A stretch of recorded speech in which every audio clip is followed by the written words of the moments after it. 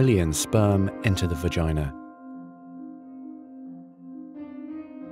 Soon afterward, millions of them will either flow out of the vagina or die in its acidic environment.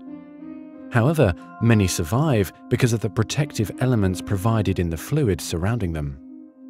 Next, the sperm must pass through the cervix, an opening into the uterus. Usually, it remains tightly closed, but here the cervix is open for a few days while the woman ovulates. The sperm swim through the cervical mucus, which is thinned to a more watery consistency for easier passage. Once inside the cervix, the sperm continues swimming toward the uterus, though millions will die trying to make it through the mucus. Some sperm remain behind, caught in the folds of the cervix, but they may later continue the journey as a backup to the first group. Inside the uterus, muscular uterine contractions assist the sperm on their journey toward the egg. However, resident cells from the woman's immune system, mistaking the sperm for foreign invaders, destroy thousands more.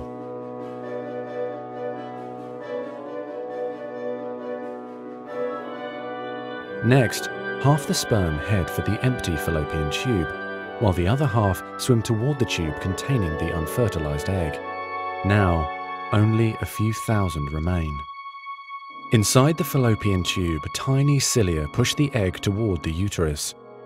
To continue, the sperm must surge against this motion to reach the egg. Some sperm get trapped in the cilia and die. During this part of the journey, chemicals in the reproductive tract cause the membranes covering the heads of the sperm to change. As a result, the sperm become hyperactive, swimming harder and faster toward their destination. At long last, the sperm reach the egg. Only a few dozen of the original 300 million sperm remain. The egg is covered with a layer of cells called the corona radiata. The sperm must push through this layer to reach the outer layer of the egg, the zona pellucida. When sperm reach the zona pellucida, they attach to specialized sperm receptors on the surface, which triggers their acrosomes to release digestive enzymes, enabling the sperm to burrow into the layer. Inside the zona pellucida is a narrow, fluid-filled space just outside the egg cell membrane.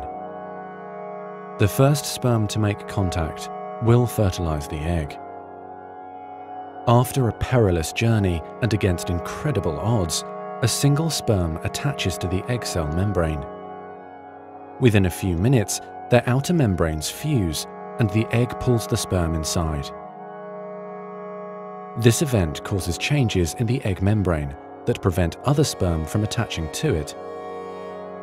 Next, the egg releases chemicals that push other sperm away from the egg and create an impenetrable fertilization membrane.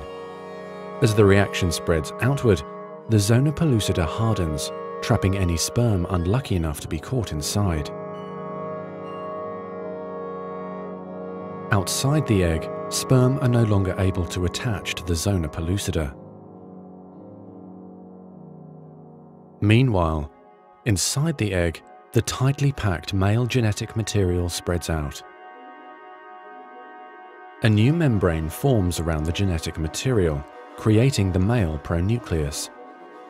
Inside, the genetic material reforms into 23 chromosomes. The female genetic material, awakened by the fusion of the sperm with the egg, finishes dividing, resulting in the female pronucleus, which also contains 23 chromosomes. As the male and female pronuclei form, spiderweb-like threads, called microtubules, pull them toward each other. The two sets of chromosomes join together, completing the process of fertilization. At this moment, a unique genetic code arises, instantly determining gender, hair color, eye color, and hundreds of other characteristics. This new single cell, the zygote, is the beginning of a new human being.